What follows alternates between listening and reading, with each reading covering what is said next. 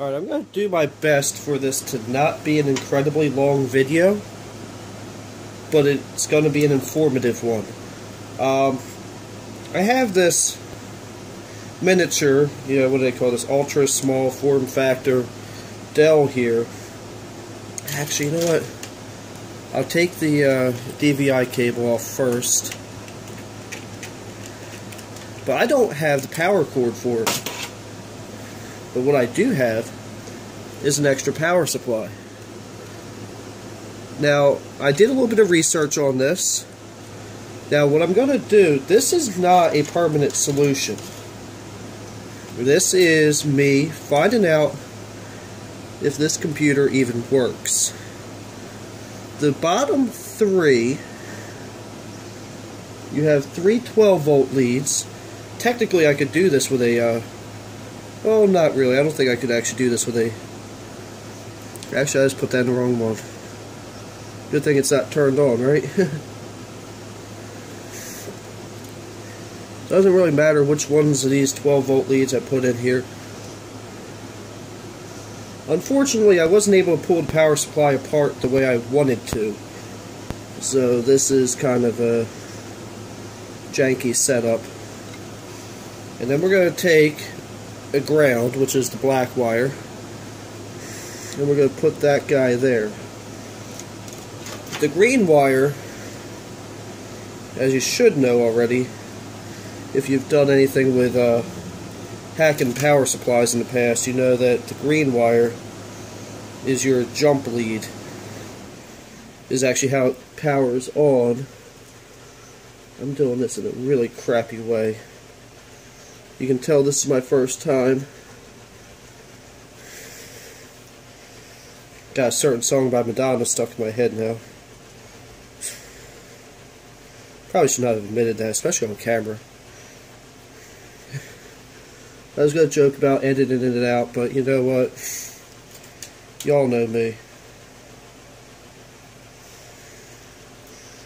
Alright, so I'm going to take the ground fold what I'm doing now because what I wanted to do was actually pull the pins out of the uh, connector but that wasn't working right so right now I'm pushing bare wire in against a male pin so I'm going to take this green wire fold her over a little bit on the top that goes in the top right and then the rest of these are all grounds.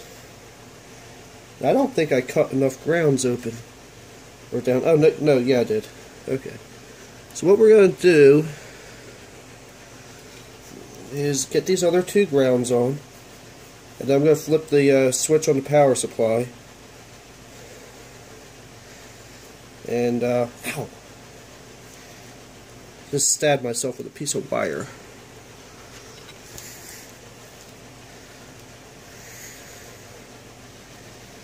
And if this works, I'm just going to see if this machine will boot up. Okay, the lights just flashed on the computer. I'm showing a uh,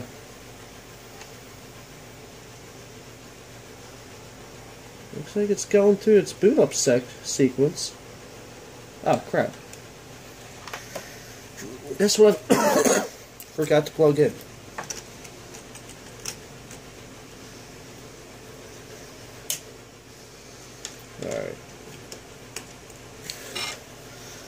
So let's see what happens now.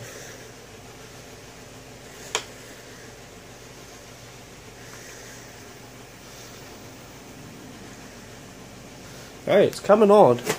Crap, I'm gonna get on the F2, F2, F2. I'm gonna crank you up a little bit. I have the flash on on the camera. But uh, let's see here. What do we have processor wise? A 1.8 gigahertz Core 2 Duo, 2 gigs of RAM.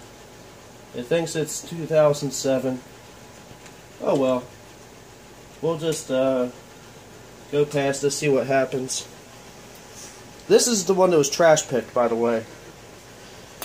So being that this functions, I'll gladly pay the $10 for one of these on uh, on eBay. Okay, so I can't do anything with this right now anyway. But what I wanted to tell you, show you is how to start up one of these without a uh, without actually having a power supply. I feel like for some people my audience, this might actually be very useful information. So, I actually enjoyed doing this. I don't even care. I'm gonna. I might mess around with this and uh, put uh, XP back on it or do something. But for right now, what I'm going to do is I'm going to say thank you for watching. Have a blessed day.